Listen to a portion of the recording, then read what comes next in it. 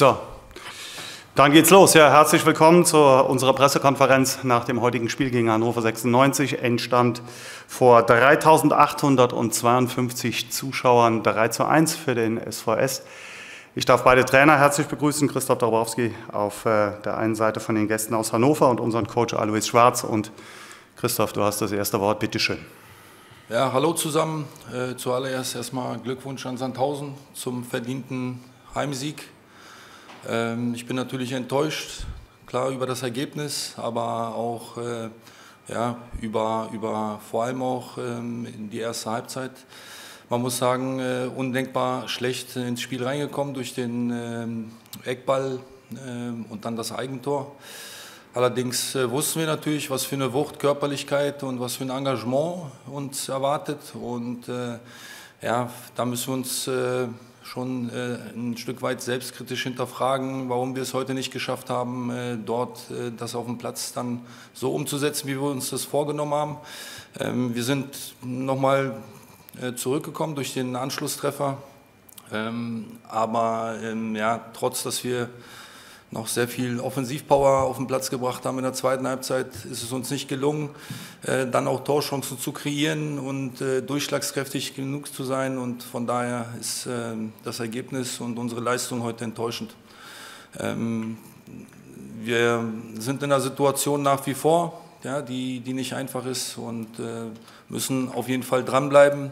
Äh, sind noch neun Spiele, da sind, dort sind viele Punkte zu verteilen und ja, wir müssen morgen darüber reden, äh, wie, wir, wie wir die nächsten Tage dann ähm, ja, das wieder so angehen, dass wir mit mehr Power und mehr, mehr Frische und mehr, mit mehr Energie wieder ähm, in das nächste Spiel reingehen, ja, weil das hat, uns die letzten Wochen äh, brutal ausgezeichnet. Das haben wir heute leider nicht auf den Platz gebracht, aber wir werden weitermachen und äh, nächste Woche haben wir die nächste Gelegenheit dazu. Vielen Dank. Ja, danke Christoph und ich darf an unseren Coach geben. Alois, bitteschön, dein Statement zum Spiel. Ja, äh, erstmal sind wir froh, dass wir die drei Punkte hier äh, behalten können äh, gegen eine äh, spielerisch starke Mannschaft. Wir wollten aktiv ins Spiel gehen, wollten dem Gegner, der äh, einen sehr guten Ball auch von hinten raus spielt, äh, wenig Möglichkeiten geben, immer Stress zu verursachen. Und natürlich hat uns dann dieses Tor von Shima, die Direktverhandelte-Ecke, in die Karten gespielt. Ähm, waren dann ganz gut gestanden, haben gut umgeschaltet, so machen wir auch das 2-0. Ähm, der Gegner hatte bis dato, glaube ich, nicht eine Möglichkeit. die erste, die sie haben, die nutzen sie auch gleich. so, so schnell kann so ein Spiel auch kippen. Man hat auch gesehen, in der zweiten Halbzeit dann der Gegner hat äh, gedrückt gemacht, äh, uns auch ein bisschen eingeschnürt. Ähm, was wir sehr gut gemacht haben, ist die Boxverteidigung. Wir waren sehr kompakt äh, und haben immer wieder Spitzen gesetzt. Äh, da hätte ich mir vielleicht schon gewünscht, dass wir früher das 3-1 machen, weil die Möglichkeiten waren eigentlich da. Und äh, letztendlich äh, haben wir es dann auch gemacht und denke ich, dass wir als verdienter Sieger von diesem Spiel, das, das war als verdienter Sieger sind. Dankeschön. Gut, dann starten wir mit Nachfragen. Das wird die Kollegin Samira Bahlemann von Hannover 96 und ich übernehmen. Äh, ich fange mal an und dann wechseln wir. Marco Büsselmann, Headline 24, fragt, ähm, es war heute eine der stärksten Anfangsphasen in dieser Saison. Was hast du dem Team vor dem Anpfiff mitgegeben? Ja, das, was ich vorher gesagt habe, dass wir aktiv äh, da sein wollen, dass wir den Gegner stressen wollen und äh, ihn zu Fehlern zu zwingen. Und äh, das hat die Mannschaft sehr gut umgesetzt. Darauf haben wir uns auch äh, vorbereitet gehabt äh, in, in, Trainingsinhalten. Die Mannschaft hat es gut umgesetzt. Und äh, wenn du dadurch belohnt wirst durch so eine Standardsituation, dann äh, geht es auch ein bisschen leichter. Max Wendel von der DPA fragt nach zu Shima Okorochi, war an zwei Treffern beteiligt. Wie beurteilst du seine Leistung heute und im Allgemeinen? Im Allgemeinen muss ich sagen, Shima steigert sich wie alle anderen. Also ich muss auch sagen, und das macht mich ein bisschen stolz, wie schnell wir und wie gut wir zusammengewachsen sind als Mannschaft und uns gegenseitig helfen. Es ist ein super Charakter, eine gute Mentalität da und das ist, äh, spiegelt sich in den Momenten auch wieder, in dem Moment, wie äh, Schima auch auf dem Platz steht mit einem ganz anderen Selbstbewusstsein wie vielleicht noch im Jahr 21. Du hast immer betont, dass die Arbeit, die in die Defensive gesteckt wurde, inzwischen sich auszahlt. Gibt es noch ein weiteres Rezept, was äh, dazu führt, dass im Moment es sechs Spiele ähm, äh, gibt, die, die, in denen wir ungeschlagen sind? Das was ich gerade gesagt habe, dass wir als Mannschaft äh, äh, agieren und als Mannschaft auf dem Platz stehen, uns Fehler verzeihen, gegenseitig helfen. Äh, und der, äh, der Charakter der Truppe und die Mentalität ist richtig, richtig gut geworden. Und das ist die Basis, um dann auch in der Liga bleiben zu können. Letzte Frage, erster Teil von mir. Rostock äh, hat doch noch gewonnen auf Schalke 4 zu 3. Dadurch bleiben die Kellerkinder eng beieinander. Wie beurteilen Sie die Lage, beziehungsweise ist es aufgrund des Vorsprungs auf die direkten Abstiegsplätze nur noch ein Kampf um Tabellenplatz 16? Ja, die, die Tabelle in der zweiten Liga ist schon seit Jahren immer eng, ob das oben oder unten ist, und das wissen wir. Und deswegen müssen wir Woche für Woche Vollgas geben und Woche für Woche alles abrufen, um dementsprechend dann auch unsere Punkte einzufahren und äh, vielleicht am 34. Spieltag dann auch dazustehen, wo wir eigentlich hinwollen in der zweiten Liga. Gut, dann wechseln wir mal. Samira, bitteschön. Danke dir. Ja, Dabro, wir starten mit einer Frage von Dirk Tietenberg. Der möchte wissen, wie war der ursprüngliche Plan in der Grundordnung und warum hat es diesmal nicht funktioniert? Ja, der Plan war, äh, mit unseren drei Innenverteidigern hinten äh, ja, schon auch die langen Bälle ähm, äh, gut zu verteidigen, mit den zwei Sechsern davor und den zwei Spitzen, die Mann auf Mann anlaufen wollten äh, und äh, die, die langen Bälle, die sie dann spielen, äh, schon frühzeitig zu unterbinden. Äh, wir haben dann im Laufe der ersten Halbzeit dann umgestellt auf Viererkette, ja, weil wir uns dadurch mehr Stabilität dann erhofft haben.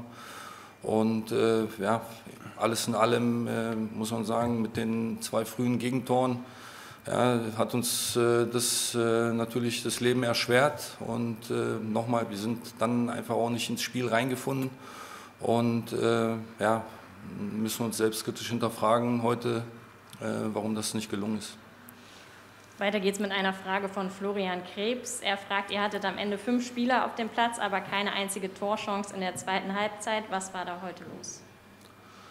Ja, wir haben versucht, nochmal Offensivstärke reinzubringen, äh, nochmal versucht, äh, ja, dort viele, viele Spieler auch in den vorderen Bereichen zu positionieren. Ähm, uns hat dann letztendlich die Durchschlagskraft gefehlt, uns Torchancen herauszuspielen. Ja, das äh, Manko müssen wir uns ankreiden lassen heute. Die Mannschaft hat äh, gezeigt, dass sie es besser kann und sie wird auch zeigen, dass sie es auch wieder besser kann. Die nächste Frage hast du schon mit der Frage von Dirk Dietenberg beantwortet. Deswegen machen wir weiter. Das 0-2 war bereits das fünfte Eigentor in dieser Saison. Kannst du das erklären? fragt Florian Krebs auch. Nee, habe ich keine Erklärung für. Er fragt zudem, was ist mit Zieler? Ja, Ron hat gestern schon über leichte Kreislaufprobleme geklagt. Deswegen sind wir mit drei Torhütern angereist, mit Marlon Sündermann zusätzlich. Äh, er war aber spielfähig, er hat sich so gefühlt, dass er auch einsatzbereit ist. Kurz vor der Halbzeit sind äh, wiederum die Probleme aufgetreten und deswegen mussten wir dann auch in der Halbzeit reagieren. Ähm, wir müssen abwarten, äh, was die Untersuchungen bringen und äh, deswegen kann ich dazu jetzt noch nicht im Detail irgendwas sagen. Mhm. Nächste Personalie. Warum hast du Yannick Dem nach 37 Minuten runtergenommen? Ja, ich denke, äh, Yannick ist nicht so gut ins Spiel reingefunden und äh, ja, nach dem äh, 2-0 Rückstand hat er es nicht geschafft, äh, Sicherheit zu bekommen. Ich wollte ihn da ein Stück weit schützen und mit Selmo Roya einen frischen Mann bringen, der uns äh, ein Stück weit mehr Stabilität gibt. Und ja, so ist das manchmal im Fußball. Äh, heute war kein guter Tag für ihn, aber ähm, er hat die letzten Wochen gezeigt, dass er äh, auch nach äh, nicht so äh, optimalen Spielen dann auch gestärkt zurückkommt. Letzte Frage von den Kollegen aus Hannover, diesmal nochmal Dirk Tietenberg. Er fragt, Dabro, wie siehst du die aktuelle Lage in der Liga? Wie bitter ist das und wie gefährlich? Ja, die Lage der Liga hat sich nicht geändert. Die Situation ist eng beisammen, aber nicht nur seit heute, sondern schon, schon die ganze Saison. Und ähm, wir sind in der, in der Pflicht, äh, einfach äh, unsere Leistung auf den Platz zu bringen. Äh, das ist uns sehr oft gelungen.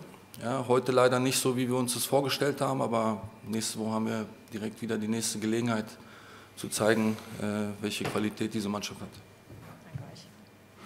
Samira, Dankeschön. Letzte Frage an dich, Alois Christoph Offner von der Rhein-Neckar-Zeitung. Übergeordnete Frage. In den letzten Tagen haben eher andere Dinge für ungläubiges Kopfschütteln gesorgt. Heute war es der direkt verwandelte Eckball von Shima Okorochi. Kann der Fußball mit solchen Szenen für ein wenig Ablenkung in dieser Zeit sorgen? Ja gut, der Sport sollte allgemein Ablenkung von dieser äh, Zeit, die wir gerade haben, sorgen. Und äh, solche Tore oder solche äh, ja, kleinen Fußballfeste, wie wir heute feiern konnten, trägt seinen Teil dazu bei. Trotzdem ist es äh, traurig, was gerade abgeht. Ja. ja, das war's von uns. Vielen Dank ähm, unseren Gästen. Gute Heimfahrt. Und äh, für uns geht es weiter am kommenden Freitag mit dem Auswärtsspiel bei Darmstadt 98. Bis dahin, gesund bleiben. Tschüss und bis die Tage.